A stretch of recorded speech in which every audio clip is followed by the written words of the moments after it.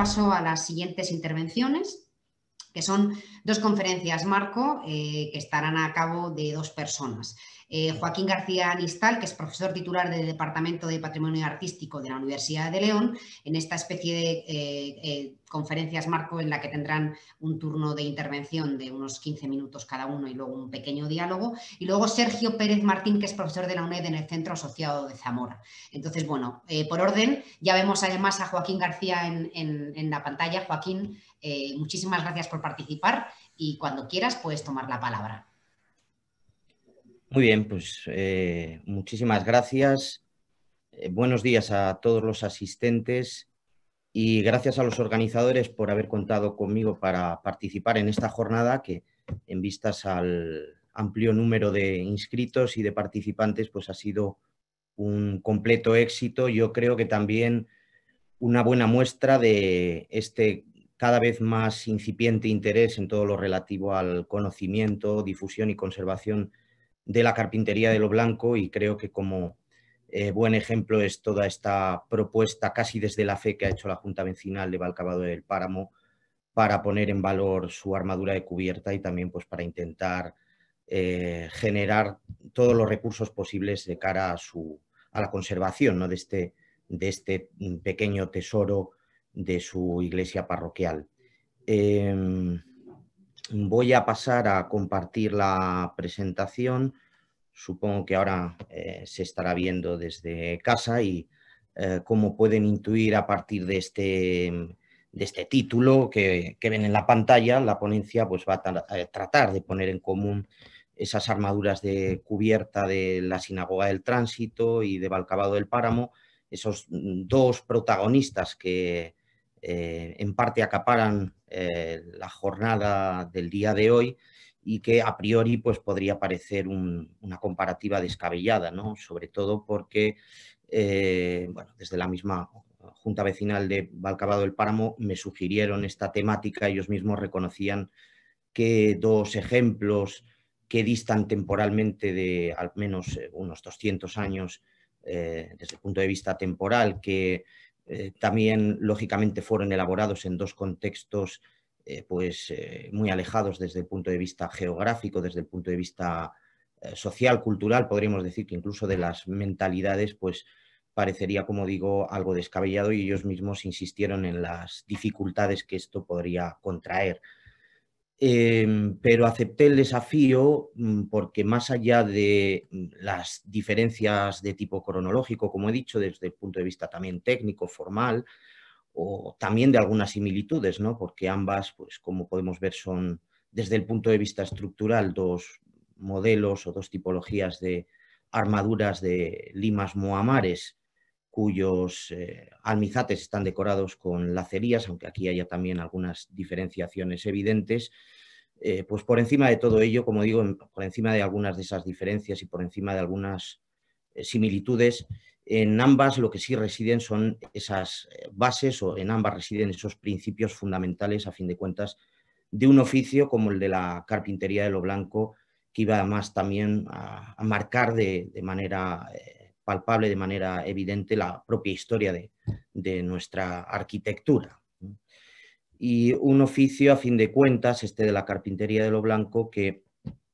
como bueno, desgranó el, doctor Noere Magdauco durante los años 80, especialmente con esa lectura dibujada del manuscrito de Diego López de Arenas que ven en pantalla, pues eh, se sirvió de unas, este oficio, se sirvió de una serie de sencillas fórmulas, de recetas con las que se obtenía pues, ese juego de cartabones que posibilitaba eh, calcular desde la longitud de los principales integrantes hasta definir mm, con precisión esos diferentes también cortes para los ensamblajes y que es justamente lo que en buena medida permite o permitió al oficio, como vemos en una de esas fotografías del Centro de los Oficios de León, prefabricar o prefabricar de manera parcial eh, esos diferentes paños, lo cual también, por otra parte, contribuye eh, claramente a facilitar todo tipo de eh, integración de labores de policromía o especialmente también la integración de lacerías antes de lo que sería ese proceso de montaje final que también vemos aquí claramente ilustrado ¿no? a partir de algunas de estas prácticas que se llevan a cabo en el Centro de los Oficios de, de León. Bueno, esa integración de lacerías, de hecho, es la que se va a convertir en uno de los rasgos más distintivos de nuestra carpintería eh, histórica. Y es también aquí donde eh, esta sinagoga del tránsito y la ah, iglesia de Valcabado del Páramo comparten de nuevo un mismo principio básico. A pesar de eh, las diferencias en las propias lacerías, a pesar de que también la técnica para su materialización es diferente, una eh, apeinazada, aunque casi mixta, podríamos decir, porque también recurre al taugel como recurso para eh, contribuir a la gestación de la lacería. Y en el caso de Balcabado eh, nos encontramos un procedimiento puramente ataugerado. Ambas también comparten, como decía, un nexo en común, ambas comparten de nuevo un principio básico como el que sería el de que ambos lazos, ambas eh, lacerías parten en realidad de una retícula elemental, una eh, malla cuadrangular que de hecho es la razón de ser de, los mismos. Y creo que para hacer más visible todo esto convendría pues aproximarnos a esa zona eh, del Almizate, a esa zona del Arneruelo, para ver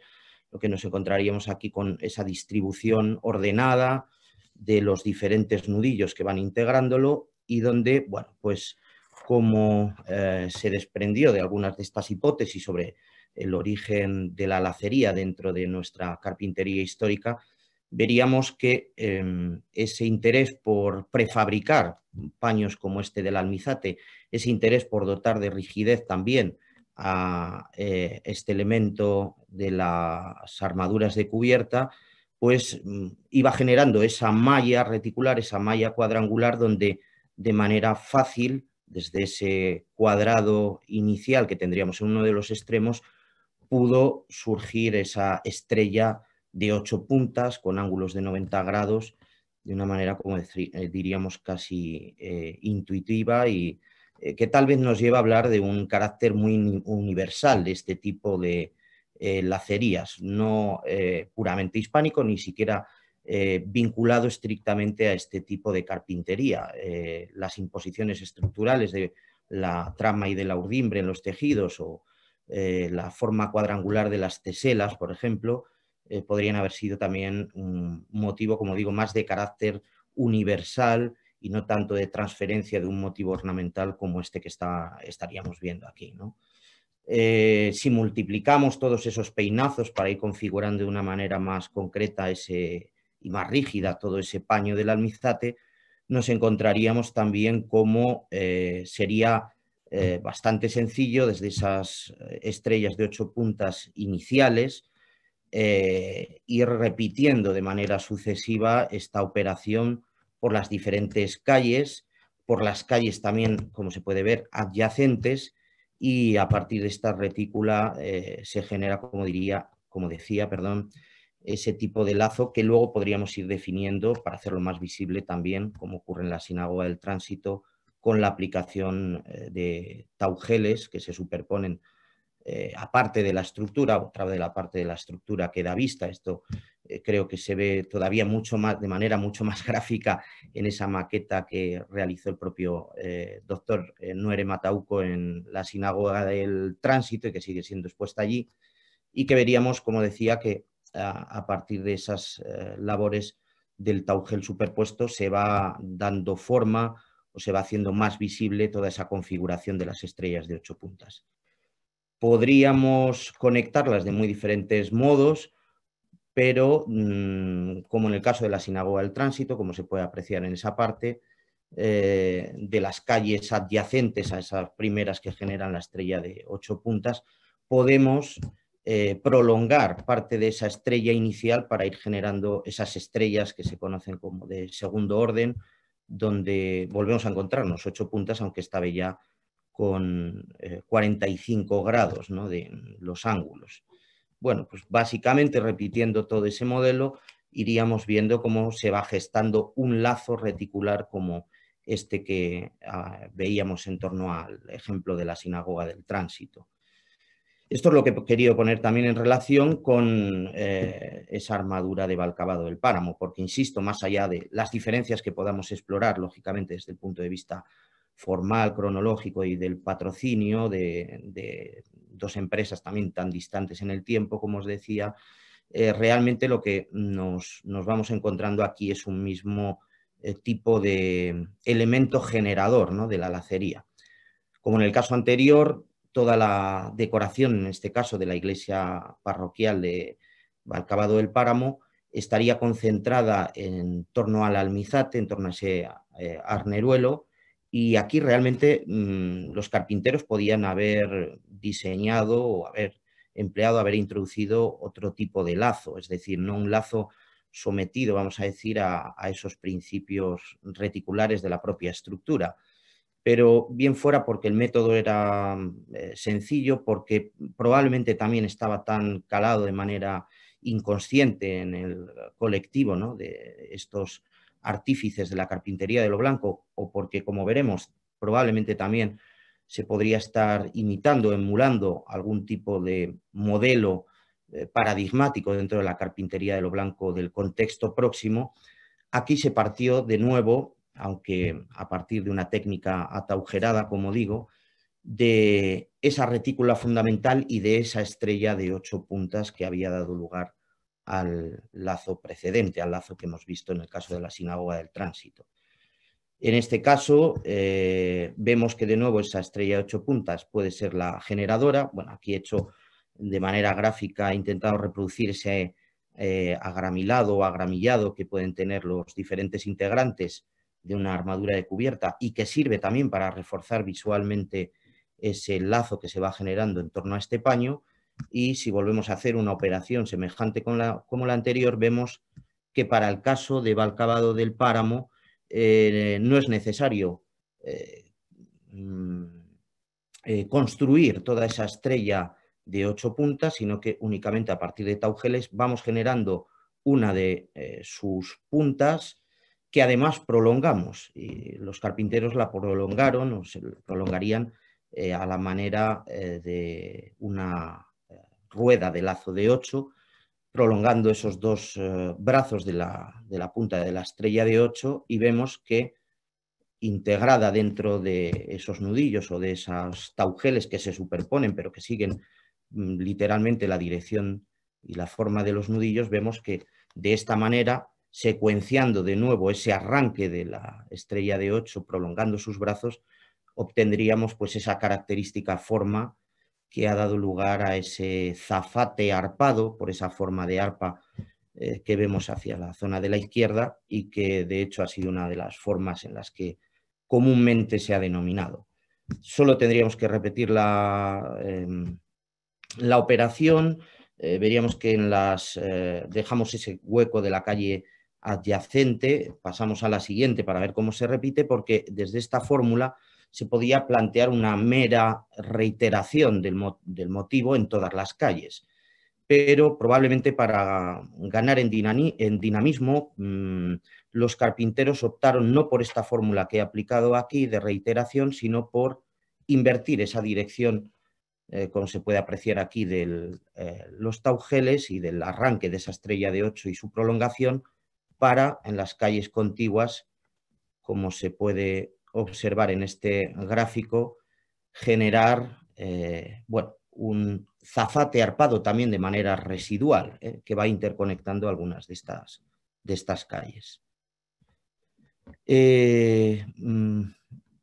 repitiendo esa operación en todas las calles contiguas, adyacentes, vemos que finalmente se llega a generar un lazo de estas características ese lazo reticular que ahora mismo se está emborronando, no sé si eh, es por un problema o defecto del PowerPoint o es que únicamente lo estoy viendo. Eso te estaba, quería preguntar, Joaquín, estoy viendo que, está... Eh, el PowerPoint no tenía esta, ahora se está... Sí, creo que es eh, que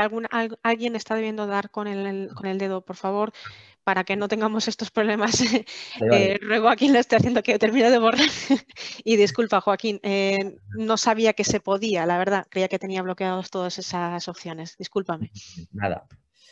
Bueno, como estaba diciendo, pues básicamente este es el elemento que, de nuevo, partiendo de esa retícula, de esa malla cuadrangular, que es eh, una práctica inmemorial dentro de la carpintería de lo blanco, que creo que no es necesario ascribir realmente ni a un grupo étnico, ni a un tipo de estilo y volver a etiquetar todo este tipo de, producciones, porque insisto que eh, como principio básico se partiría de un hecho que podríamos decir casi de carácter técnico universal y del que pudo derivar este tipo de lacerías sencillas, estos eh, lazos de retículo, aunque a partir de aquí, obviamente, eh, como se ha dicho, el, tipo de lacería se podría complicar, hacerlo más complejo. En todo caso, ese es el recurso desde el punto de vista decorativo que vemos en esta iglesia de Santiago de Valcabado del Páramo, que va integrando todo ese conjunto de los del almizate y que como se puede apreciar especialmente en esta parte baja que no ha sufrido el deterioro de los pares de esta parte superior, vemos como a pesar de esa técnica ataujerada, a pesar de que se cuenta con un tablero en el que se podría disponer otro tipo de ordenación o de motivo decorativo, eh, vemos cómo se insiste en interconectar la parte alta de los pares y continuar eh, con esos taugeles la dirección y forma de los nudillos para generar este lazo reticular. A partir de aquí, en algunas partes no se puede apreciar que no se conectan exactamente pares y nudillos o esa dirección de los nudillos porque como supongo que también pueden apreciar en la imagen esta parte eh, se, fue fruto de algún tipo de reparación en algún momento. Eso se va claramente en el eh, cambio de madera eh, desde el punto de vista del propio material y de los recursos de esas, de esas calles entre los pares. Bueno, en todo caso, eh, Valcabado del Páramo no es un ejemplo único, por supuesto, a la hora de incluir este tipo de, lazo de zafates arpados que ha tenido muy diferentes denominaciones, lazo leonés, yo jugué con ese título eh, inicial del modelo santiaguista porque si eh, vemos este panorama gráfico también sobre mapa de, eh, parte de la provincia de León y también de la actual provincia de Zamora, nos encontraríamos como hay una concentración importante de armaduras de cubierta que mantienen continuamente este recurso decorativo y que probablemente, perdón, parten, o al menos es el ejemplo más temprano documentado, de este antiguo convento de la Orden Militar de Santiago de San Marcos de León, un centro que durante especialmente el siglo XVI fue un, referente desde el punto de vista de la orden dentro de la península y que probablemente podrían estar compartiendo o imitando de alguna forma eh, ese modelo en, el contexto próximo. Digo que no es fácil tampoco conocer mm, el grado de influencia que pudo tener o realmente por qué se gestó esta reiteración de este, de este ejemplo de la sala capitular del antiguo convento de San Marcos de León, que en realidad es un alfarje con jabalcones, aunque tenga esa especie de armadura de esa, esa, eh, forma ¿no? de armadura de cubierta, digo que no se conoce muy bien porque ni todos el, resto de mm, localidades que hemos visto sobre el mapa eh, tienen una relación directa con la orden militar de Santiago durante el siglo XVI, eh, tampoco podemos, creemos, eh, ajustar todos estos trabajos a un mismo taller o cuadrilla de maestros itinerante porque también las diferencias desde el punto de vista formal y técnico y de la elaboración de estos lazos son palpables entre unos ejemplos y otros y tampoco ni siquiera podemos considerar que haya un nexo desde el punto de vista de otros contextos históricos como los diocesanos porque en este, vuelvo al mapa anterior, eh, gráfico que veíamos, realmente nos encontramos en dos diócesis diferentes, diócesis de Astorga, desde La Bañeza, Balcabado, Alija y Grijalba de Vidreales, a eh, diócesis leonesa con León, Mansilla Mayor o Villamuñío, entre otros ejemplos. Lo que sí conocemos es que a partir del siglo XVI, y no sabemos si de manera exclusiva, porque la falta de documentación también nos impide corroborar todo esto, el modelo de este lazo reticular de zafates arpados se reprodujo hasta la saciedad, los ejemplos vistos, eh, desde mm, adaptado, ¿no? desde estructuras o formas como las de los presbiterios hasta esas amplias naves centrales de algunas de estas iglesias parroquiales que pueden estar viendo ahora en pantalla y que lógicamente es donde debemos, debemos también de emparentar esa armadura de cubierta de Balcabado del Páramo. A fin de cuentas, y probablemente como el convento, el antiguo convento de San Marcos de León, se convirtió en ese referente, en uno de esos primeros edificios del Renacimiento en el noroeste peninsular, fue probablemente ese, esa construcción de un arquetipo, de un modelo paradigmático, lo que probablemente animó o estimuló a algunos carpinteros a reproducirlo por parte de esa geografía del contexto próximo que hemos visto. Yo, en todo caso, quería insistir para eh, jugar con eh, y ajustarme a todos estos tiempos y para eh, que haya un turno también de, preguntas, quería finalizar únicamente insistiendo en que más allá de algunas evidencias y similitudes que plantean Sinagua el tránsito y Valcabado el páramo, más allá de, aquella distancia desde el punto de, vista temporal, insisto en que es son esas bases, esos principios fundamentales del oficio los que ambas mantienen, los que ambas han perpetuado hasta el día de hoy y creo que eh, el mejor testimonio y el mejor legado que aquellos carpinteros nos han podido traer hasta el día de hoy.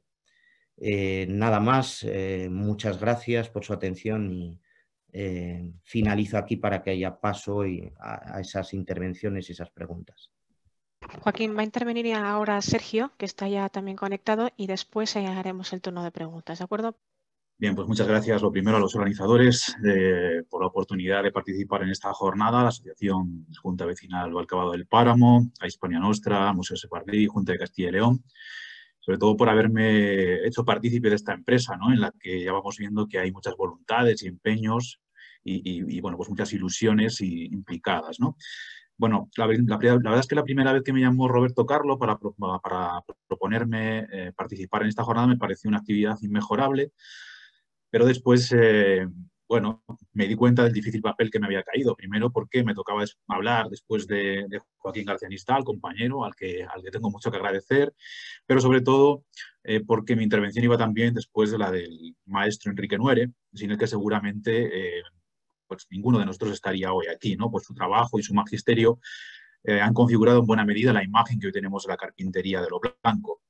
Aunque no nos conocemos en persona, la verdad es que compartimos pasión por, por, la, por la carpintería de armar, pero también admiración por un personaje que, si Enrique me lo permite, y a él le considero el padre de, de, la carpintería de lo blanco, a este otro personaje al que me voy a referir en primera instancia, don Manuel Gómez Moreno, pues le considero prácticamente el abuelo ¿no? de la disciplina. Sobre él vengo trabajando ya desde hace pues, casi cinco años junto a José Mi Lorenzo Arribas. Y sobre él vamos a, os quería mostrar unas imágenes sobre una serie de documentos que estamos recuperando y que probablemente aporten una visión renovadora hacia algunos aspectos que tienen que ver precisamente con el trabajo que estamos eh, abordando a lo largo de esta mañana. Eh, es el epistolario de Manuel Gómez Moreno. Eh, ya como todos ustedes saben, a, don Manuel le correspondió entre los años 1900 y 1909 intervenir eh, realizando el catálogo monumental de cuatro provincias, por este orden Ávila, Salamanca, Zamora y León, y aunque los catálogos son sobradamente conocidos, sí que hay una serie de materiales inéditos que van a aportar nuevas visiones a lo que estamos viendo. La primera eh, carta, la verdad es que eh, me viene al pelo prácticamente por una cuestión que, a la que antes aludió Enrique, y es que eh, desde fecha muy temprana, don Manuel Gómez Moreno, ya desde 1900, va a aludir en su correspondencia diaria prácticamente con su padre, precisamente a algo que, acaba de comentar Enrique. ¿no? Eh, ellos tienen una, una, correspondencia, un epistolario casi, como digo, diario, y en él aparecen innumerables referencias a la carpintería de armar, y además aparecen referencias en las que se va fijando paulatinamente esa, terminología tan compleja a la que venimos refiriéndonos desde hace ya un rato, ¿no? Mudéjar, morisco, etcétera, etcétera, y siempre teniendo en cuenta además el gran saber que atesoraba su padre, Manuel Gómez Moreno González. Y en esta primera carta eh, yo creo que es muy ilustrativo, ¿no? En lo que dice esos techos mudéjares, que tal vez sean lo mejor de España, que como yo presuponía, nuestros techos son ejecutados, aludiendo a los techos andaluces, eh, por esos artesanos de Castilla. Bueno, en estas primeras cartas ya aparecen innumerables eh, menciones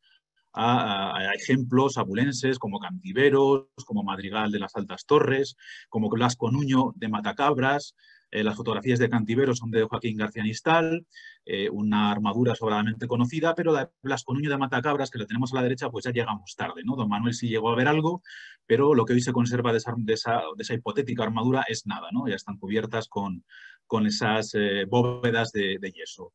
Evidentemente, a las de Madrigal, estas fotografías son de, del blog de, de don Enrique Nuere, eh, son sobradamente conocidas, las que él compara eh, precisamente con esos ejemplos, ejemplos andaluces, ejemplos granadinos, algunas cartas más de los años posteriores, ya de 1908, cuando se encuentra en León, y había traído esta precisamente porque creo que, bueno, pues entre los que hoy estamos conectados habrá algún compañero de, de la zona del Páramo, aquí se habla de artesonados moriscos, y es cierto que, eh, aunque no hay excesivas referencias a los artesonados de esta zona del páramo, sí que hay algunos testimonios eh, en los que, bueno, pues sabemos a qué, a qué localidades eh, todos estos datos evidentemente son interesantes porque no se volcaron después en el catálogo monumental. Y es aquí donde nos va a ofrecer esa, renovación de datos eh, y esa afluencia de nuevas, eh, de nuevas interpretaciones, porque él va a hablar ya rápidamente sobre los datos de 9, de 10, de 12, etcétera, etcétera. Además de algún testimonio, este me, me ha parecido especialmente bonito. En el año 1908 sabemos que llega a La Bañeza, desde aquí recorre prácticamente todas las localidades del páramo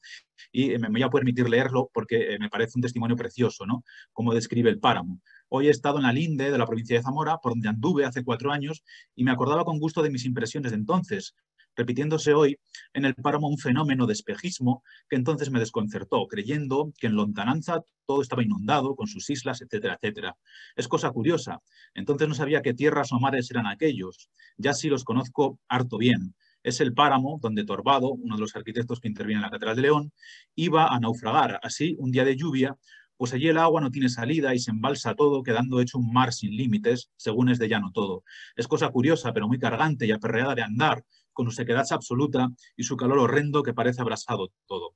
Bien, estas imágenes las conocen porque son una de las pocas, creo que prácticamente la única que recoge don Manuel Gómez Moreno luego en el catálogo monumental, la de la desaparecida iglesia de Santa Marina en Valencia de Don Juan. Y desde luego en aquellos años incipientes en los que se empieza a hablar de carpintería, no es el único personaje en el que está, que está trabajando sobre ello. ¿no? En las cartas de don Manuel aparece citado constantemente un prieto, un personaje eh, al que no se identificará propiamente, pero que sabemos hoy que es Antonio Prieto Vives, con el que tiene una interesantísima relación entre los años 1907 y 1930 aproximadamente, antes de que fallezca el propio Prieto con el que habla por primera vez sobre el manuscrito de López de Arenas, que aparece citado eh, de manera pionera en su, en su catálogo, perdón, en su epistolario en el año 1902, y pocos años después, en 1904, es cuando el propio Prieto y Vives eh, empieza a publicar una serie de trabajos eh, a partir de conferencias impartidas en el Ateneo de Madrid en el año 1904, en esta revista de obras públicas, donde se empiezan a desarrollar todas esas ideas de la carpintería de lazo, que evidentemente eh, son las que luego interpretó y, nos ayudó a comprender en buena medida las publicaciones de don Enrique Nuere. Este texto fue el que todos ustedes ya conocen, que fue encontrado en esa tocinería de Granada y donado en el año 1928 al Instituto Valencia de Don Juan. Y después de diversos avatares, es el que bueno, hace esa, esa ah, publicación de Gómez Moreno y desde luego a partir de ella y del conocimiento del, del manuscrito, la edición interpretativa y fundamental que don Enrique Nuere eh, nos, legó a partir del año 1966. Eh, bueno, evidentemente de estos momentos incipientes eh, y, a partir, en cierto modo, pues de todas las tesis doctorales, trabajos de, grado, publicaciones en congresos, artículos, conferencias, ponencias, todo, todo el saber que se ha ido atesorando durante, durante este siglo, durante todas estas décadas, eh, evidentemente nuestra concepción y nuestra imagen y nuestro aprecio por la carpintería de lo blanco ha ido cambiando notablemente. ¿no? De esas imágenes eh, un tanto luctuosas que tenemos a la izquierda, eh, han surgido otro espíritu verdaderamente diferente, un espíritu de apreciación, incluso por la, por la comunidad, como lo que tenemos en Valcabado del Páramo, como lo que ocurrió también a partir del año 1999 en Villamayor de Campos, es la imagen que tenemos abajo. Y sobre todo en el que ya creo que no, nadie duda de que evidentemente se pueden poner a la par y no hay, em, en cierto modo, ya ningún tipo de miedo de comparar pues, una armadura como la que tenemos en la imagen de la derecha, nada menos que con un grupo escultórico del maestro Juan de Juni, ¿no? Eh, todo esto, a todos aquellos que conozcan el Museo Nacional de Escultura de Valladolid, evidentemente no les extrañará, pues son salas cuajadas completamente de armaduras. ¿no? Bien, yo creo que el año 1999 y sobre todo los primeros años de la década del siglo, del siglo XX, de la primera década, fueron los que espolearon un tanto a ese cambio de concepción, ese cambio de apreciación que eh, surge en la carpintería ah, de lo blanco, en la carpintería de armar en Castilla y León. Como saben todos, eh, en, esos, en, ese cambio de siglo se produce el, derrumbe parcial de la iglesia de San, Esteban de Villamayor de Campos, una intervención eh, que se llevó a cabo en los años posteriores y que acabó bueno, pues, cristalizando en la restauración del edificio, en la restauración de las armaduras y en la creación de un centro de interpretación, que es el que tienen las imágenes, seguro que todos lo conocerán, eh, que, cambió un poco el paradigma en cuanto a la apreciación de, estas disciplinas también para la propia Dirección General de Patrimonio de la Junta de Castilla y León. No solo conllevaba la restauración del edificio, evidentemente, conllevaba también la creación de un centro, de un espacio expositivo. A partir de ese espacio, la creación de una serie de rutas eh, por la Tierra de Campos y por la parte nororiental de la Tierra de Toro, y la eh, edición digital de una publicación por parte de los profesores Luis Basayo Toranzo y Ramón Pérez de Castro. Eh, evidentemente, esto lo que rápidamente ofreció es una enorme posibilidad a partir de las, eh, las, bondades que nos ofrecía la sociedad de la información, Internet, las redes sociales, el Open Access, de cara a que todo este saber atesorado durante tantos años eh, a partir de esos trabajos que he mencionado con anterioridad, los trabajos de Enrique Nueve, los trabajos de Lavado Paradinas, de Balbina Fernández Cabiró, de Fernández Show. Eh, hay una serie de profesionales que durante todos estos años, evidentemente, han vertido un caudal informativo tremendo, pero eh, evidentemente el problema que había es que la gran dificultad a veces para entender también esta, esta disciplina para el público en general se veía favorecida a partir de este momento con la creación de esta serie de contenidos digitales como los que a partir del año 2010 eh, empezó a generar la Junta de Castilla y León. Ya son 11 años de trabajo los que, los que llevan en esta, pues, un poco en esta, línea de, en esta línea de trabajo, que ya se ha mencionado también a, primera hora de la mañana cuando intervino el director general, y en los que se ha hablado sobre eh, distintos territorios y abordado además desde de muy distinta manera, ¿no? a partir de, ediciones digitales, a partir de catálogos eh, dedicados a, a, exposiciones, de folletos, de herramientas de diagnóstico, de puramente inventarios, etcétera, etcétera. Creo que el panorama eh, en cuanto a la difusión y en cuanto al intento de crear un recurso patrimonial importante dentro de la comunidad de Castilla y León sobre algo tan autóctono como es para nosotros la carpintería de blanco, es algo que eh, ha, suscitado el interés y empieza a suscitar el interés como pueden haberlo sido en otros momentos otras disciplinas y otros estilos artísticos, etcétera, etcétera.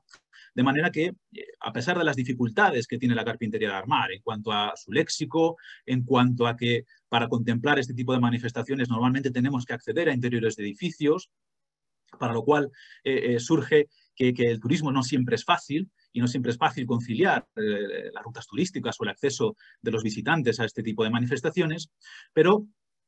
en estos años, en estos eh, casi 11 años, pues eh, se han tocado ya seis provincias de nuestra comunidad autónoma de Castilla y León, dando casi un caudal de unas 200 localidades, que no armaduras, que no techumbres, que no alfarjes o forjados,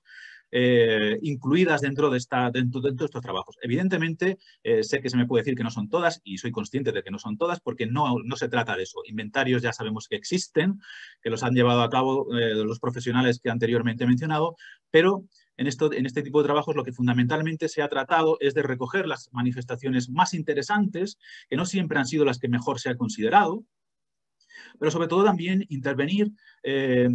o más, más bien más que intervenir, eh, tomar conciencia de aquellas otras que son susceptibles de ser restauradas, son susceptibles de, en un momento dado, la Administración pueda contar con un caudal de información adaptado para que se puedan lanzar a partir de aquí eh,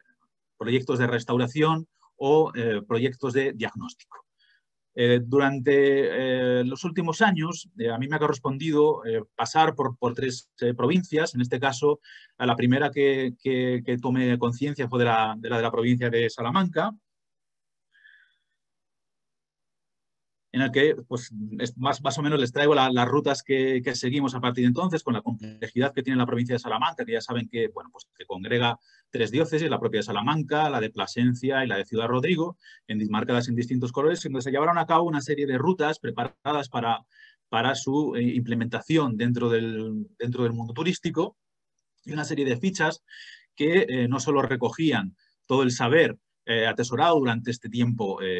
por, los eh, distintos investigadores, historiadores, arquitectos que habían pasado por estas, por estas localidades y, analizando estas armaduras, sino que también se, bueno, pues se utilizó un poco como herramienta de diagnóstico, de medida y de toma de conciencia de los trabajos que se habían llevado a cabo con anterioridad. En Salamanca fundamentalmente eran los trabajos de García y Figuerola, donde se pudieron recorrer pues, armaduras tan soberbias como esta que seguramente conocen todos, la de Macotera, eh, la primera mitad, el primer tercio del siglo XVI, una nave con una retícula de 10 impresionante y sobre todo eh, pues un poco esos alfarjes de coro, esos forjados de coro que teníamos a los pies, donde también se pudo aportar la, eh, procedencia de todos esos temas iconográficos a partir del, ejemplar, del, manuscrito ejemplarizante que García Gómez dedicó los al carro de dos vidas. Eh, o poder acceder a algunas de las clausuras, como esta de Santa Isabel, con, unas ruedas de 8 y 16 y de 10 y 20, un, un artesón, bueno, es un, es un, forjado realmente, pero con esos artesones fingidos que tenemos en los laterales, pintados, o acceder, eh, nos dio la posibilidad también el trabajo de acceder a una serie de alquerías, de fincas privadas, como esta de Gallegos de Huebra, en la que se pudo fechar a través de la, inscripción que tenemos en, el Almizate en el año 1532 y también constatar cómo se había intervenido eh, sin, conocimiento también de, la diócesis, pues tanto en, la nave, que había desaparecido su, armadura, como esa intervención un poco cuestionable también de la, parte de, de la cabecera. ¿no? Eh, a partir de estos, como digo, de estos trabajos han surgido otra serie de, cuestiones de, proyectos de restauración, algunos de ellos como el que tenemos en la imagen, que empezará a restaurarse en fechas próximas en la iglesia de la degollación de Puebla de Yeltes, esta armadura un tanto maltrecha, y también surge un poco la, bueno, la problemática de, una vez que hemos pasado por allí, de ver todos estos ejemplos que, que, bueno, ya se vieron hace cinco o seis años y nos preguntamos en qué estado quedarían, ¿no? Como está eh, un villadero del Cristo de la Salud de Salamanca, que nos encontramos en plena intervención, pongo intervención entre comillas, o eh, esta ermita del humilladero ya muy maltrecha cuando la vimos la última vez en el año 2015 y cuyo estado actual pues desconocemos, ¿no? Evidentemente lo mismo, el mismo procedimiento se llevó a cabo en la, provincia de Valladolid, en la creación de esa serie de rutas turísticas. Aquí ya había un trabajo importante desarrollado durante, durante años anteriores por Carlos Duque, por Ramón Pérez de Castro, por Antonio Sánchez del Barrio, por eh, Fernando Regueras, etcétera, etcétera. Y mm, se visitaron localidades y armaduras tan maravillosas como la que tenemos en la, imagen ahora mismo. Quizás los ejemplos más señeros son estos, precisamente este, esta armadura de Tordesillas, seguramente conocida por todos, o este otro conjunto espectacular en la, en la, iglesia de Santa María de Alaejos, donde no solo confluyen las armaduras de la capilla mayor, del crucero, sino también los alfarjes del coro. O también fue posible recrear este maravilloso trayecto de las armaduras de Urones de Castro Ponce desde su estancia inicial en la iglesia hasta acabar eh, muy reformadas, muy intervenidas en, una de estas salas del Alcázar de Segovia, previo a su eh, incendio, evidentemente, en el año 1862. Bueno, a partir de aquí, igual que ocurría en Palencia, han surgido proyectos de restauración, que yo creo que es lo bueno que tienen estos, estos proyectos en los, que, en los que venimos trabajando, como el de Pedrosa del Rey, en conexión con además con algunos ejemplos eh, abulenses como Gimialcón, por ejemplo, eh, el más reciente de San Juan Bautista de Villalón, una propuesta de restauración que surgió en el año 2019 y que acabará siendo este centro de interpretación del Mudéjar que se ha planteado en distintos momentos y que cuando lo visitamos pues estaba en serio riesgo de colapso, tanto la armadura de la nave como la de la cabecera y otras armaduras que, nos suscitan pues, eh, tremenda preocupación. ¿no? Esta, esta iglesia de pobladura de Sotiedra, que es un pueblecito prácticamente despoblado y en el que esa, esa armadura eh, ataujerada, eh, en la que ya hay unas pérdidas absolutamente irreparables, o un distinto tipo de preocupación, la de la Capilla del Cristo de Santa Catalina de Siena en Valladolid, porque es un edificio, quizá lo hayan leído en prensa, este, este convento que quedó vacío ya de religiosas, fue adquirido por el Ayuntamiento de Valladolid Y claro, eh, el, destino de, esta, de, estas armaduras y de estos espacios aún no se saben porque se iba a dedicar a espacios eh, hoteleros y un centro de deporte. Entonces, bueno, mm, simplemente preocuparnos por lo que pueda, por lo que pueda venir. Y más recientemente lo que, eh, lo que se ha podido hacer en la, en la provincia de, Palencia. ¿no? Aquí, evidentemente, se contaban con todos los estudios que desde hace varias décadas llevaba, llevaba viniendo a cabo lavado paradinas, todas estas localidades que, que se visitaron,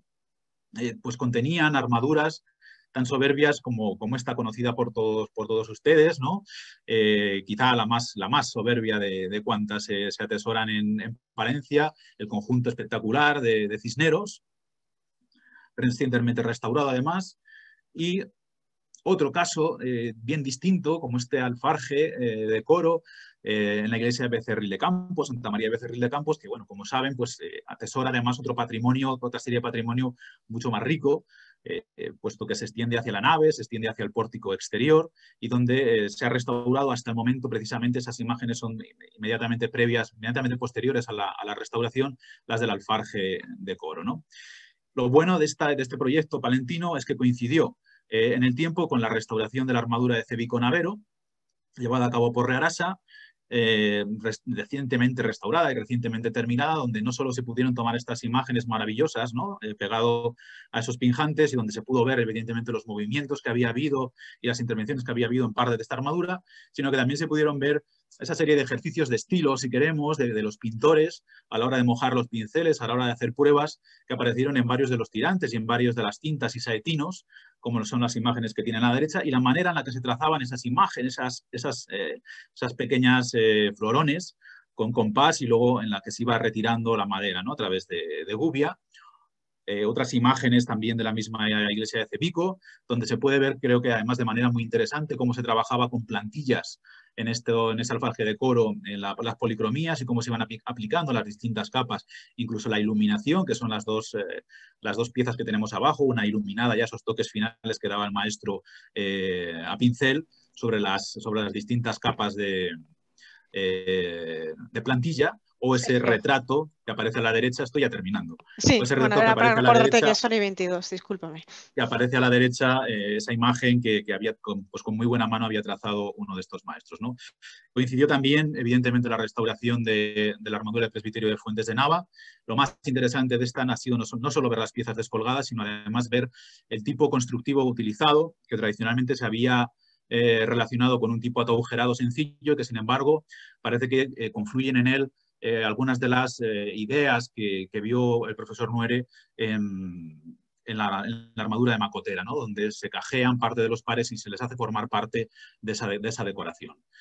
Quedan, evidentemente, otras armaduras, un tanto de estado delicado, Castromocho, de la que se hablaba antes en el foro, eh, en un estado muy, muy precario, otra armadura absolutamente, absolutamente fabulosa por los 12 paños que la componen en la ermita del Cristo del Amparo. Evidentemente, el camino ha sido mucho por el que recorrido, queda mucho por recorrer y con esta imagen final de esta, de esta construcción que con la que me topé ya hace cinco años en Lunes de Castro Ponce, casi se torna un poco en algo alegórico, ¿no? En, esos materiales pobres que nos, que nos han confluido aquí durante esta mañana, pero que resisten y que están, bueno, pues esperando y deseosos de que, de que alguien se fije en ellos como lo hemos hecho esta mañana, ¿no? Muchas gracias.